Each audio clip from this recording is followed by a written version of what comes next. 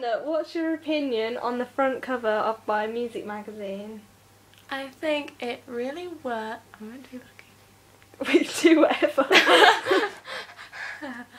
I, I really like the font, different kind of fonts, and how they're punchy, and and I'm loving the girl model in on the front cover. I think she's looking great.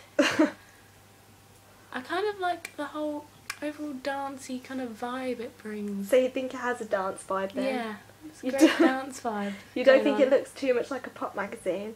No, no. Do you think if you saw this on the shelf you'd buy it yourself? Yeah, I You totally would. What do you think to the contents page? Um, I really like the layout. It's really good. Um, it's very clear, and you can see what's going on. Is there anything you'd change about it? Or do you like it how it is? Hmm. I think it's great. Thanks.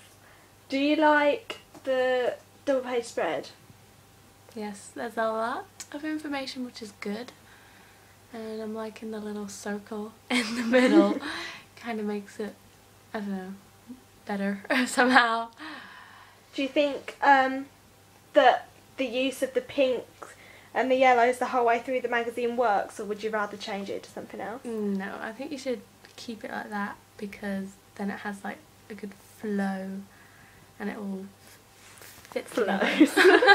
yeah, flows. um, overall, is there anything that you would change to the magazine? Do you think the name works? Do you think Name's good. Name's good. do you think all like the contents are okay, or do you think Yeah. that there should be something else? Or? Interesting information going on there. And if you were to like take over essentially the magazine, would you do anything differently or would you do it all exactly the same?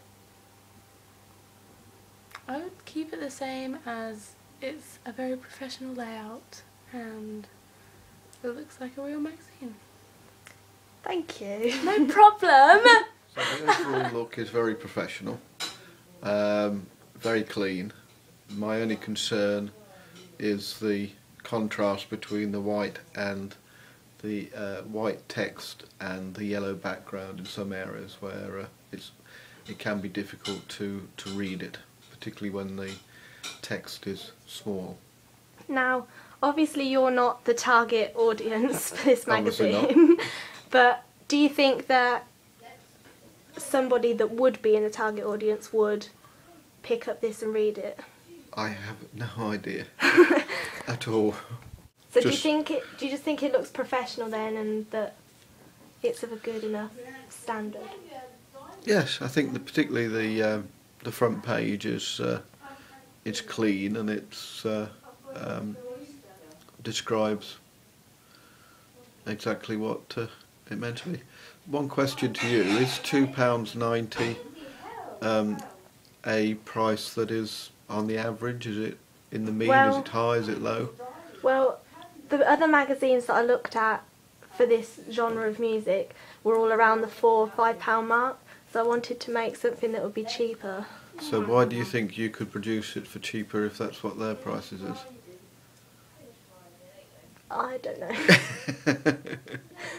Probably just because they're a l- less well-known magazine, and well, that would surely that would make I don't know, but I just wanted it to be able to compete with.